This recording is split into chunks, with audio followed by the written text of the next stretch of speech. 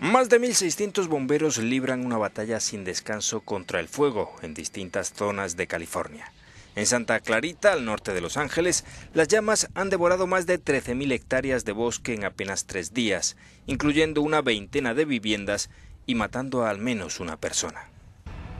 En 45 minutos avanzó 16 kilómetros hasta llegar a nuestro patio trasero, comentaba un afectado. Las llamas tenían 30 metros de altura. Nunca vi nada igual.